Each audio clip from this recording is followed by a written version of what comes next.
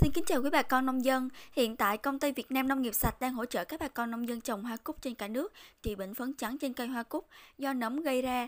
Để được hỗ trợ tốt hơn, quý bà con nông dân vui lòng để lại số điện thoại bên dưới phần bình luận hoặc gọi về số điện thoại hotline 0919 817 033 để được đội ngũ kỹ sư nông nghiệp tư vấn kỹ thuật miễn phí.